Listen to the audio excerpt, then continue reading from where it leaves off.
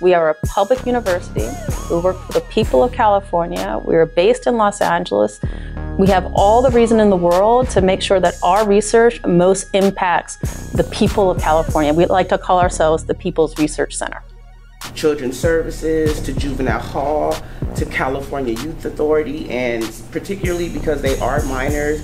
I would love it, love it if this became a model for how to do research in general, um, how to really work with community and center their voices and how the research is done and who it goes to.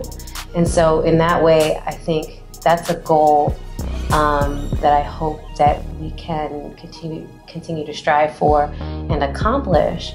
But then also to be able to make data plain and digestible to the everyday person.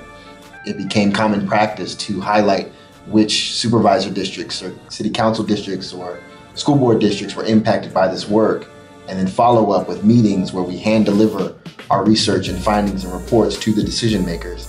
Uh, and, and we've influenced some some legislation along the way, and I think that that's something incredibly powerful that I like keep going and building with community.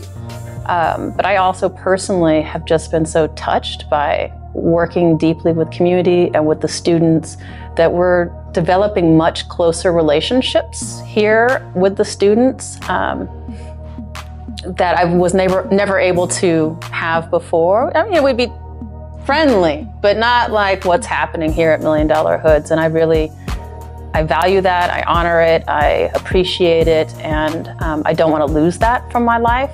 And so that's just this the feeling of being and work together and struggle together. And as a black woman scholar, you know, I don't think I really looked at the gap and the lack of black female scholars in data prior to coming here and realizing how I was kind of alone in some ways, but now have been able to join a family of people who appreciate this work and support. Want to see a more equitable world, uh, both in our schools as well as broader society, and that decriminalization is is, is something that we can all get behind once we recognize our shared humanity. Um, and that's something we have lived here at Million Dollar Hoods, and I think we get that from the organizers and community activists and amazing organizations like Cadre that we work with. It is a measure of success for us to be um, honored by Cadre.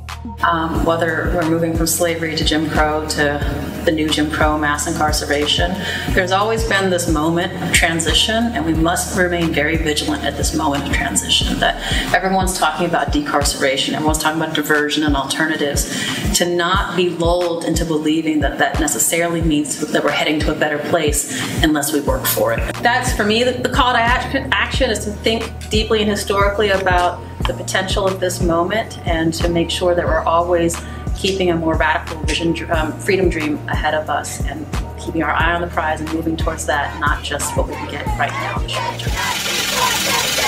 Last time that I checked, it was five chains on my neck.